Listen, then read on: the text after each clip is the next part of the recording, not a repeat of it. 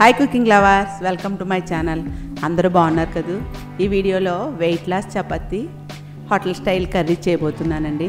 ఎప్పుడు మనం గోధుమ పిండితోనే చపాతి చేసుకుంటూ ఉంటాం కదా. నేను గోధుమ పిండితో పాటు ఇంకో రెండు రకాల పిండిని యాడ్ చేసి చపాతి చేయబోతున్నాను. అలాగే కర్రీ కూడా హోటల్లో కర్రీలో చాలా టేస్ట్గా ఉంటుందండి. ఈ కాంబినేషన్ చాలా బాగుంటుంది. వెయిట్ లాస్ అవుదాం అనుకునే వాళ్ళు తప్పకుండా ట్రై చేయాల్సిన రెసిపీ అండి ఇది. ఎంతో టేస్ట్గా ఉండే చపాతీ విత్ కర్రీని ఏ విధంగా తయారు చేయాలో చూసేద్దామా? ఆలస్యం చేయకుండా వీడియో స్టార్ట్ చేసేద్దాం.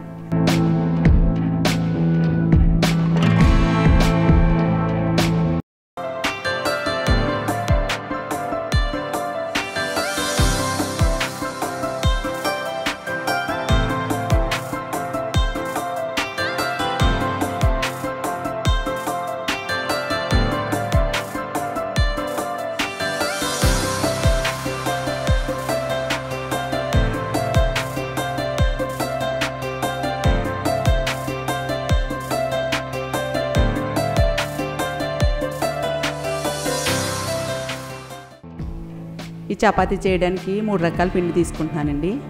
గోధుమ పిండి అలాగే జొన్న పిండి రాగి పిండి.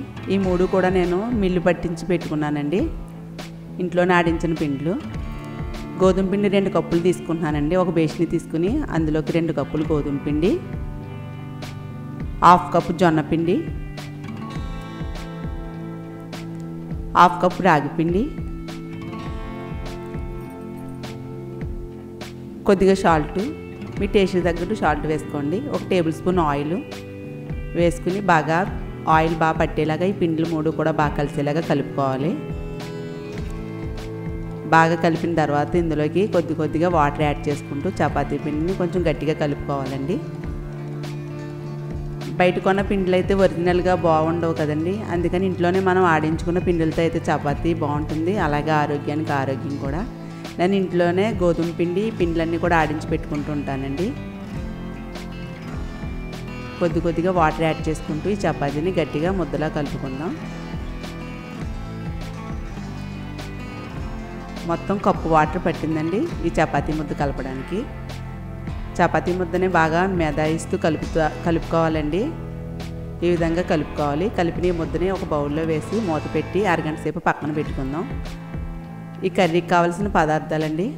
నాలుగు ఉల్లిపాయలు కూర తీసానండి స్టాండ్ పెట్టి. నాలుగు పచ్చిమిర్చి రెండు బంగాళదుంపలు ఒక పెద్ద క్యారెట్ ముక్కలు కట్ చేశాను ఒక పెద్ద టమాటా నానబెట్టిన శనగలు రెండు టేబుల్ స్పూన్లు ఫ్రోజన్ బటన్ రెండు టేబుల్ స్పూన్లు ఒక టేబుల్ స్పూన్ అల్లం వెల్లుల్లి పేస్ట్ చిన్నగా కట్ చేసిన కొత్తిమీర ఆయిల్ ఫెష్ క్రీమ్ ఒక టేబుల్ స్పూన్ ధనియాల పొడి ఒక టీ స్పూన్ జీలకర్ర పొడి పావు టీ స్పూన్ పసుపు one and half teaspoon కారం సరిపడా సాల్ట్ మసాలా పొడి ఒక టీ స్పూన్. దీని పేస్ట్ కోసం దోసపప్పు జీడిపప్పు ఒక మూడు పచ్చి కొబ్బరి తీసుకున్నానండి. కర్రీ ప్రిపేర్ చేసుకుందాం. పాన్ పెట్టుకుని ఇందులోకి నాలుగు టేబుల్ స్పూన్లు ఆయిల్ వేసుకుని ఆయిల్ మరిగిన తర్వాత కొద్దిగా జీలకర్ర వేసుకుని లైట్గా వేగాక ఇందులోకి స్టాండ్ పెట్టి కూర తీసానండి ఉల్లిపాయలని. ఉల్లిపాయలు కూడా వేసుకుని గోల్డ్ కలర్ వచ్చే వరకు వేయించుకోవాలి. ఇందులోనే పొడవ కట్ చేసిన నాలుగు పచ్చిమిర్చి కూడా వేసేస్తున్నానండి. సరిపడా సాల్ట్ కూడా వేసేస్తున్నాను. సాల్ట్ ముందు వేయడం వల్ల ఉల్లిపాయలు బాగా మగ్గుతాయండి. మీరు స్టాండ్ పెట్టి కూర తీసుకోవచ్చు లేకపోతే చిన్నగా అయినా కట్ చేయొచ్చు. మూడు నిమిషాలకి ఈ విధంగా ఉల్లిపాయలు వేగాయండి. ఇలా గోల్డ్ కలర్ రావాలి. ఇందులోకి అల్లం వెల్లుల్లి పేస్ట్ కూడా వేసుకుని పచ్చివాసన పోయే వరకు కూడా వేయించుకోవాలి. ఇది ఫ్రెష్గా మిక్సీలో వేసిన అల్లం వెల్లుల్లి పేస్ట్ అండి. ఇది కూడా లైట్గా వేగిన తర్వాత ఇందులోకి బంగాళదుంపలను కర్రీ చేసుకునేటప్పుడే మనం కట్ చేసుకోవాలి లేకపోతే బ్లాక్ అయిపోతాయండి. ఈ బంగాళదుంపలు క్యారెట్ ముక్కలు కూడా వేసేసుకుని కలుపుకోవాలి. కొంచెం పెద్దగా కట్ చేయాలండి. బాగా కలిపి మూత పెట్టి మీడియం ఫ్లేమ్లో మగ్గనిద్దాం. ఈ దోసపప్పు కొబ్బరి ఈ జీడిపప్పులు కూడా నేను కాసేపు నానబెట్టాను.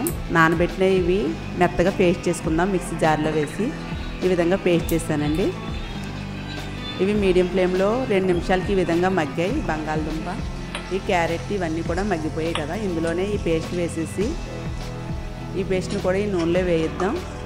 లో ఫ్లేమ్లో వేయించుకోవాలండి. ఉల్లిపాయలను మనం స్టాండ్ పెట్టి కూర తీసాం కాబట్టి ఈ పేస్ట్ల వల్ల మనకి అడుగంటుతుంది అడుగంటకుండా కలుపుతూ ఉండాలి. ఈ పేస్ట్ని కూడా ఈ ఆయిల్లో ఫ్రై చేద్దాం. ఇందులోకి ఈ పెద్ద టమాటా ముక్కల్ని మిక్సీ పట్టుకుందామండి. ఇలా ఈ విధంగా మెత్తగా పేస్ట్లా చేసుకోవాలి. ఈ పేస్ట్ని కూడా వేసేసుకుని ఇందులో వేయించుకోవాలి. మనం అడుగంటుతున్నప్పుడు కొద్దిగా వాటర్ యాడ్ చేసుకుంటే అడుగంటకుండా ఇవన్నీ వేగుతాయండి. ఈ టమాటా పేస్ట్ కూడా బాగా వేసి కలుపుకొని ఇందులో కొద్దిగా వాటర్ వేస్తున్నాను. ఇలా కొద్దిగా వాటర్ వేస్తే మనకి అడుగట్టకుండా ఉంటుంది.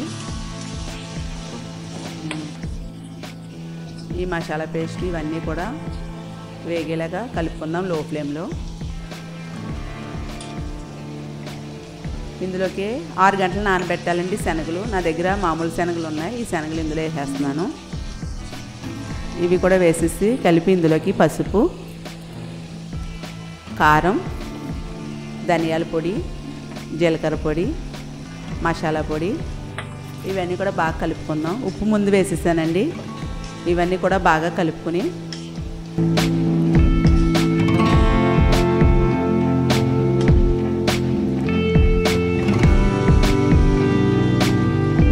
ఇందులోకి వాటర్ వేసేస్తున్నానండి. ఒక కప్పు వాటర్ వేసాను. హాఫ్ కప్ కంటే కొద్దిగా వాటర్ ఎక్కువగానే వేస్తున్నానండి. రెండు కప్పుల కంటే కొంచెం తక్కువగా పట్టాయి. ఈ వాటర్ వేసేసి ఒకసారి బాగా కలుపుకొని మూత పెట్టి మీడియం ఫ్లేమ్లో ఉడకనిద్దాం. ఈ బంగాళదుంపలు ఈ క్యారెట్ ఈ శనగలు అన్నీ కూడా బాగా ఉడికితే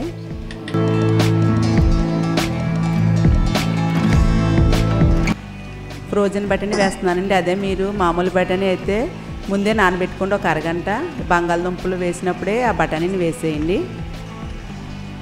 బంగాళదుంప క్యారెట్ కూడా ఉడికే లేదో చెక్ చేద్దాం. పచ్చి బంగాళదుంప వేసానండి. క్యారెట్ కూడా. ఇవి రెండు కూడా ఉడికిపోయాయి. ఇందులోకి నేను ఫ్రోజన్ బఠానీ అండి ఇవి. ఇవి వేసేస్తున్నాను. అలాగే శనగ కట్ చేసిన కొత్తిమీర కూడా వేస్తున్నాను. నాలుగు నిమిషాల్లో ఉడకనిచ్చానండి ఈ కర్రీని. దుంపలు బాగా ఉడికాయి. ఈ బఠానీ కొత్తిమీర వేసిన తర్వాత కూడా మూత పెట్టుకుని ఒక రెండు నిమిషాలు మీడియం ఫ్లేమ్లో ఉడకనిద్దాం. ఇందులోకి ఫ్రెష్ క్రీమ్ కూడా వేస్తున్నాను. ఇది పాల మీద మేకడండి. మిక్సీలో వేసి చేశాను. ఈ ఫ్రెష్ క్రీమ్ కూడా వేసేసుకుని ఒకసారి బాగా కలుపుకొని టేస్ట్ చూసుకోండి. సాల్ట్ ఏమన్నా తక్కువ వస్తే ఈ స్టేజ్లోనే యాడ్ చేసుకోండి. ఈ ఫ్రెష్ క్రీమ్ వేసిన తర్వాత ఒక నిమిషం బాగా కలుపుకొని ఈ స్టేజ్లోనే స్టవ్ ఆఫ్ చేసేయండి. కొంచెం ఇలా లూజ్గా ఉండాలి కర్రీ చపాతీలోకి. చల్లారిన తర్వాత ఇంకా గట్టిగా అవుతుందండి. స్టవ్ ఆఫ్ చేసేసుకుని ఇప్పుడు చపాతీ చూద్దామండి. చపాతీ ముద్ద చూడండి ఎంత బాగా నానిందో మెత్తగాని. ఈ చపాతీని ఇలా బాల్స్లో చేద్దాం. కొంచెం పెద్ద సైజ్ చేస్తున్నాను నేను. ఈ విధంగా ఉండల కింద చేసుకుందాం ఈ పిండి అంతా నేను ఇందులోకి జొన్నపిండి యాడ్ చేశానండి. జొన్నపిండి యాడ్ చేయడం వల్ల కొంచెం జొన్నపిండి హార్డ్గా ఉంటుంది కాబట్టి కొంచెం బాగా మెత్తగా కాకుండా కొంచెం పగిలినట్టుగా ఉంటాయి చపాతీలు అండి. అయినా టేస్ట్ చాలా బాగుంటుంది. మీకు ఈ జొన్నపిండి కానీ రాగిపిండి కానీ వేయడం ఇష్టం లేకపోతే వట్టి గోధుమ పిండితో కూడా చేసుకోవచ్చండి. ఈ జొన్నపిండి రాగిపిండి వేస్ట్ చేయడం వల్ల మనం వెయిట్ లాస్ అవుద్దాం అనుకునే వాళ్ళు ఈ పిండిలు వాడడం వల్ల వెయిట్ లాస్ అవుతారండి. మనం అప్పుడప్పుడన్నా మిల్లెట్తో చేసిన పిండిలు వాడుతూ ఉండాలి. మీ దగ్గర ఏ పిండి ఉంటే ఆ పిండి వేసి కలపండి.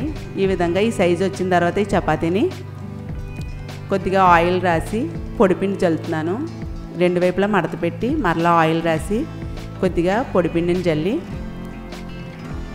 మీ ఇష్టం అండి ఏ విధంగా మడత పెట్టుకోవచ్చు. నేను ఈ విధంగా మడత పెడుతున్నాను. ఈ విధంగా మడత పెట్టి కొంచెం పిండిలో ముంచి రౌండ్గా చపాతీలో చేద్దామండి. ఇది స్క్వేర్ చేశాను కాబట్టి మీకు స్క్వేర్గా వస్తుందండి చపాతీ. ఈ విధంగా మనం కొంచెం కొంచెం పిండి యాడ్ చేస్తూ చపాతీలా చుట్టూ కూడా దలసరిగా ఉండకుండా చుట్టూ కూడా మనం ఒత్తు ఒత్తుకోవాలి చపాతీని. ఇదే విధంగా మిగిలిన చపాతీలు అన్నీ కూడా చేసుకుందాం. ఇప్పుడు స్టవ్ ఉంచి వెలిగించి అట్ల రేకు పెడుతున్నానండి. ఇది మామూలు రేకే. అట్ల రేకు బాగా వేడెక్కాలి మనకి. హీట్ బాగున్నప్పుడు చపాతీ బాగుంటుందండి. బాగా హీట్ అయిన తర్వాత ఈ చపాతీని ఇందు మీద జాయిగా వేసుకుని మీడియం ఫ్లేమ్లో వేగనివ్వాలి. ఈ చపాతీ ఈ చపాతీ కొంచెం పొంగిన తర్వాత ఆయిల్ వేయాలండి. ఆయిల్ వేసి కొద్దిగా వేగిన తర్వాత రెండో వైపు కూడా తిప్పుకోవాలి. త్వరగానే వేగిపోద్దండి ఇది. మీడియం ఫ్లేమ్లో వేగనివ్వాలి. హై ఫ్లేమ్లో పెట్టేస్తే మనకి ఏం మాడిపోద్ది. జాగ్రత్తగా వేయించాలండి. రెండో వైపు కూడా వేగిన తర్వాత ఒక ప్లేట్లో తీసుకోవాలి. అదేవిధంగా మిగిలిన చపాతీలను కూడా మనం మీడియం ఫ్లేమ్లో వేయించాలి.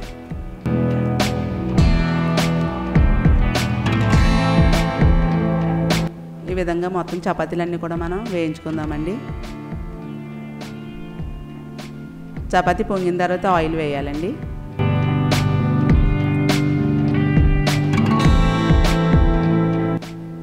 అంతేనండి ఎంతో ఈజీగా చేసేసుకోవచ్చు చపాతీలు. మనకు టైం ఉంటే కనుక మనం ఇంట్లోనే గోధుమ పిండిని మిల్లాడించుకోవాలండి. ఆరోగ్యానికి ఆరోగ్యం హెల్దీ కూడా కదా. అంతేనండి. కర్రీ చపాతీ కూడా రెడీ అయిపోయింది. మనం ఆనియన్స్తో సర్వ్ చేసుకోవడమేనండి. వెయిట్ లాస్ అవుదాం అనుకున్న వాళ్ళు తప్పకుండా ట్రై చేయండి చపాతీని. మీ దగ్గర ఏ పిండి ఉంటే ఆ పిండి జొన్న పిండి ఉంటే జొన్న పిండి రాగి పిండి ఉంటే రాగి పిండి కొంచెం యాడ్ చేసి చపాతీ చేయండి. టేస్ట్ కూడా చాలా బాగుంటుంది. అలాగే కర్రీ కూడా హోటల్ స్టైల్ టేస్ట్ ఉంటుందండి. ఈ విధంగా కర్రీని కూడా ప్రిపేర్ చేయండి. ఈ విధంగా చేసి చపాతీ కర్రీ కూడా ఏ విధంగా వచ్చిందో నాకు కామెంట్ చేయండి. ఈ వీడియో నచ్చితే లైక్ చేయండి. మీ ఫ్రెండ్స్కి రిలేటివ్స్కి షేర్ చేయండి. మరిన్ని వీడియోల కోసం నా ఛానల్ సబ్స్క్రైబ్ చేయండి. బెల్ ఐకాన్ని యాక్టివేట్ చేయండి. నెక్స్ట్ వీడియోలో కలుసుకుందాం.